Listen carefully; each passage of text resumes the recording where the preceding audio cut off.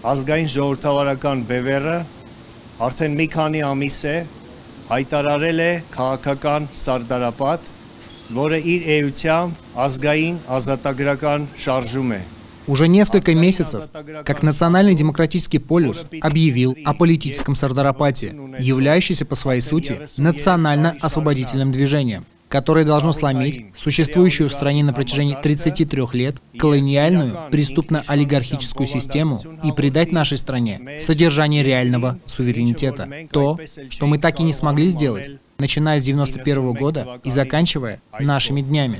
33 տարի շարունակ մենք փոխում էինք անձանց, փոխում էինք ղեկավարներին, թողելով համակարգը все эти 33 года мы меняли персон и руководителей, оставляя без изменений систему. Мы не меняли ту систему, которая способствовала грабежу страны, разграблению экономики, растрате средств на армию.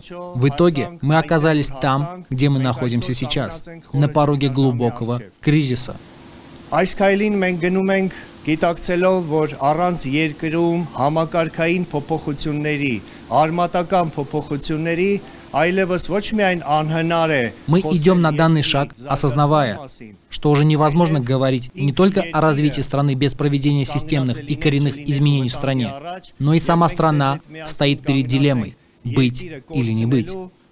И мы стоим вместе с вами перед угрозой потери Армении и новых бедствий. հրճակվեցին ներկա իշխանությունների կողմից այսպես հապճեպ Քանի որ ընդամենը մի քանի շաբաթ առաջ ընտրությունները հրճակելուց Эти выборы были объявлены нынешними властями так спешно, так как всего лишь несколько недель назад, до объявления выборов, Никол Пашинян заявлял, что нет какой-либо необходимости во внеочередных выборах. Однако постепенное национальное пробуждение в стране вынудило Москву и ее наместников пойти на внеочередные выборы, чтобы помешать национальному подъему и национально-освободительному движению. И эти выборы направлены в первую очередь на воспроизводство системы. Մենք որոշեցինք մասնակցել այս ընտրություններին ոչ թե որպես նպատակ, այլ որպես միջոց մեր վերջնական նպատակին հասնելու համար։ Մեր վերջնական նպատակն է լինելու Наше участие в этих выборах является для нас не целью, а средством для достижения нашей конечной цели – создания реальных возможностей для национального, суверенного и демократичного государства. В результате формирования в Армении временного переходного правительства и осуществления положений программы, исходящей из потребностей и логики временного периода իրավաքաղաքական գնահատական նախքին բոլոր ռեժիմներին Что это за положение? Прежде всего, это политико-правовая оценка всех бывших режимов. Второе – вытекающее из предыдущего положения переходное правосудие, которое предполагает люстрацию экономическую, политическую и агентурную. Третье – принятие новой конституции. Четвертое – принятие нового избирательного кодекса. И, наконец, пятое положение – принятие нового закона о партиях. Только после этого мы сможем говорить про действительно свободные, справедливые и прозрачные выборы, по результатам которых будет сформирован парламент, отражающий реальное, суверенное и национальное политическое поле и функционирующий в интересах народа. Հետևաբար մենք որոշեցինք մեր հիմնական ճակատին, հրապարակային ճակատին զուգահեռ մտնելով խորհրդարան բացելու նաև խորհրդարանական ճակատը։ Следовательно, мы приняли решение параллельно с основным фронтом, публичным фронтом, оказавшись в парламенте, открыть также парламентский фронт, Став парламентской силой, Национальный демократический полюс сперва прорвет ту информационную блокаду, которая действовала на протяжении многих лет и является следствием политического заказа, спущенного из Кремля. И полюс станет более доступным для нашего народа. И тезисы полюса станут доступными для более широкой аудитории.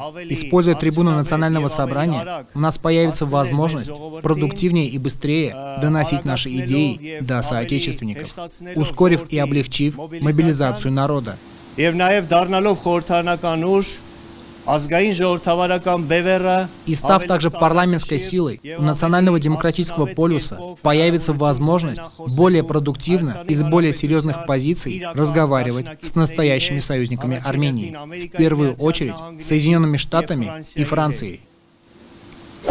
Մենք հայտարարում ենք, որ Հայաստանի Հանրապետությունը պարտավոր է հրճակել առաջի Հանրապետության իրավահաջորդությունը։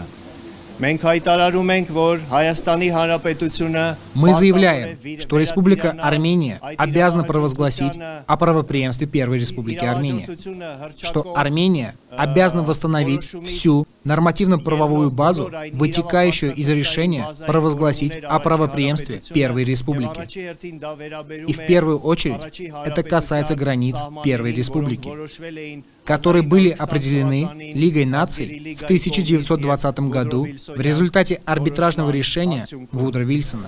Առաջի հանրապետության տարածքային ամբողջականության համատեքստում ենք մենք տեսնում նաև Արցախի հարցի լուծումը։ Мы также видим решение арцахского вопроса в контексте территориальной целостности Первой Республики. Так называемая Третья Республика и так называемый независимый Арцах, который якобы должен был состояться на основании права народов на самоопределение, это те ложные идеи, которые были навязаны нам Кремлем на протяжении 30 лет, и у которых была цель отвлечь армянский народ народ от своих национальных прав и интересов, а также от идеи объединения. Մենք ասում ենք, որ եկել է ժամանակը դիվերսիֆիկացնելու մեր պաշտպանական եւ արտաքին քաղաքականությունը։ Мы утверждаем, что настало время диверсифицировать нашу внешнюю политику и политику в сфере безопасности. Настало время, чтобы Республика Армения обратилась официально к Соединенным Штатам Америки для получения статуса основного союзника США вне блока НАТО, который позволит получить реальные гарантии не только в сфере безопасности. Это приведет к развитию военной промышленности, внедрению новых технологий и созданию дополнительных рабочих мест. Мы идем с новыми подходами и новыми идеями, и в результате их реализации мы создадим национальное, суверенное, демократическое, безопасное и обеспеченное государство, которое удивит мир и представит нас в качестве новаторской нации и страны стартапа. Благодарю за внимание. Ստարտափ երկիր։ Շնորհակալություն։